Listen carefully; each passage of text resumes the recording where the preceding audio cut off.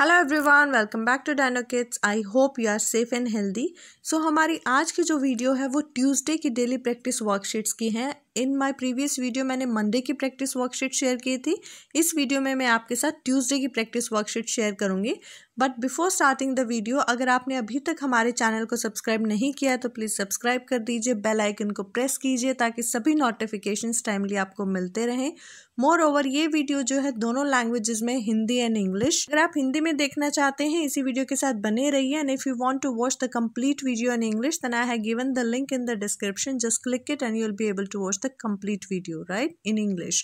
So, our first worksheet is कर to her. यहाँ पर मैंने अमिश को कर to her write करने के लिए दिया था और यूजुअली आमिश क टू ह को इंडिपेंडेंटली राइट कर लेता है तो ऑन ए डेली बेसिस और may be a day after मैं अमिश को ये हिंदी प्रैक्टिस वर्कशीट देती रहती हूँ। आफ्टर दैट हमारी जो नेक्स्ट वर्कशीट है अगेन अ हिंदी वर्कशीट है। These days I am giving practice to my son of two and three letter words of Hindi right तो उसी की प्रैक्टिस के लिए यहाँ पर मैंने ये वर्कशीट बनाई है, जिसमें लेफ़्ट साइड में मैंने कुछ इमेजेस ड्रॉ किए हैं at the right side two letter words write किए हैं। अब यहाँ पर बच्चे को two letter word first read करना है, घर घर, और फिर उसे पिक्चर के साथ मैच कर देना है। इस तरह के जो इंट्रैक्टिव वर्कशीट्स होते हैं, वो काफ़ी हेल्पफुल होती हैं और बच्चा इजीली आप जो भी उसको टू या थ्री लेटर की प्रैक्टिस देते हो, वो बहुत इंटरेस्टिंगली उसे करता है right after that next worksheet जो है हमारी, वो नेक्स्ट वर्कशीट है, जिसमें मैंने इन बिटवीन काउंटिंग राइट करने के लिए दिया है। So in between counting are very useful तो इसमें बच्चे को पता होता है उसे कहाँ से शुरू करना है और कहाँ से कहाँ पर स्टॉप करना है। So seventy two to ninety three की इन बिटवीन काउंटिंग मैंने यहाँ पर राइट करने के लिए दी थी। आफ्टर दिस हमारी जो नेक्स्ट वर्कशीट है अगेन अ मैथ्स वर्कशीट है। मैंने शेप को यूज़ करते हुए एक पिक्चर ड्रॉ की है और बॉटम में उन्हीं शेप्स को कुछ कलर कोडिंग दी है राइट तो बच्चे को उन्हीं कलर्स को यूज़ करते हुए उस पर्टिकुलर शेप में सेम कलर करना है। फॉर एग्ज़ाम्पल यहाँ पर मैंने सर्कल को येलो कलर दिया है ट्रैंगल को रेड दिया है। तो इन्हीं शेप इन्हीं कलर्स को यूज़ करते हुए पर्टिकुलर शेप में सेम कलर बच्चे को करना है राइट और after that colouring the picture बच्चों को यहाँ पर काउंट करनी है कि कितनी शेप्स है। फॉर एग्जांपल यहाँ पर थर्टीन सर्कल्स हैं तो थर्टीन उसे काउंट करने और राइट करने हैं। सेम उसे ट्रैंगल काउंट करने और बाकी शेप्स काउंट करके यहाँ पर राइट करनी है। आफ्टर दिस हमारी जो नेक्स्ट वर्कशीट है that is A to G in small letters Monday को मैंने उसे कैपिटल्स में राइट करने के लिए दिया था so today I have just given him to write in A to G in small letters right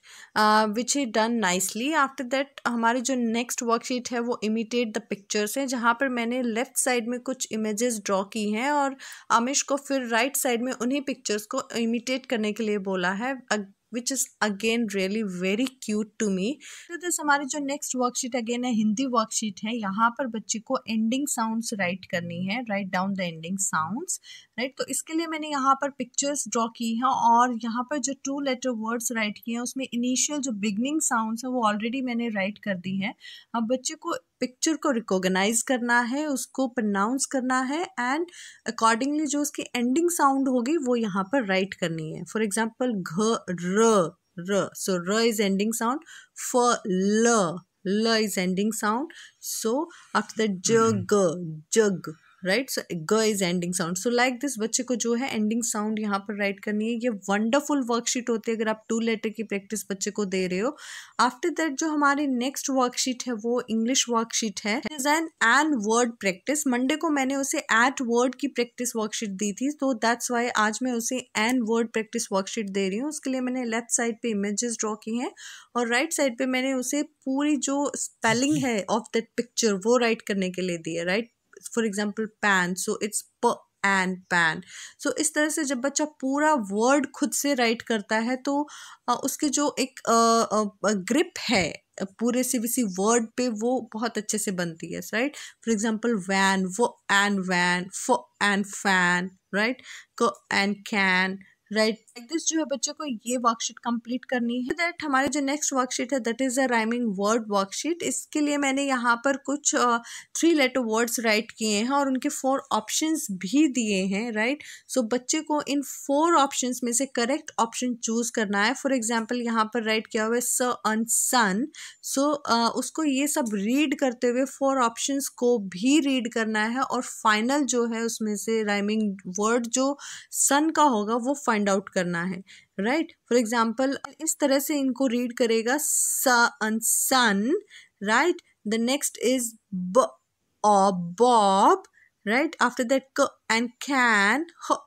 hot and then ब, अन, bun right so sun, bun they are the rhyming word right तो वो उसे circle करेगा। इस तरह से जो है आमिश को मैंने ये पूरी वर्कशीट करने को दी थी राइट तो उसे सारे जो वर्ड्स हैं खुद उसने पहले रीड किए एंड देन जो भी उसका राइमिंग वर्ड था उन्हें सर्कल किया राइट सो इससे बच्चे की जो रीडिंग कैपेबिलिटी है वो बहुत बढ़ती है right after that next worksheet है वो वर्बल लर्निंग ऑफ़ सब्ट्रैक्शन है। मैंने मंडे की वर्कशीट में बताया था कि मैंने इसे वर्बल लर्निंग ऑफ़ सब्ट्रैक्शन क्यों बोला है? बिकॉज़ इससे जो बच्चे की वर्बल लर्निंग है उसके एडिशन और सब्ट्रैक्शन को लेके जो भी डेली लाइफ में वो एडिशन या सब्ट्रैक्शन से आ, से इनकाउंटर करता है जो भी उसके सामने स्टेटमेंट्स या प्रॉब्लम्स आती हैं तो उन्हें वो कैसे सॉल्व करे? उस पर्पज़ को लेते हुए मैंने इस वर्कशीट को डिज़ाइन किया था। तो यहाँ पर यूजुअली मैं कुछ इमेजेस ड्रॉ कर देती हूँ related that problem example I have written here कि Dev had five balls he lost three of them तो उसके पास कितने रिमेनिंग हैं बॉल्स राइट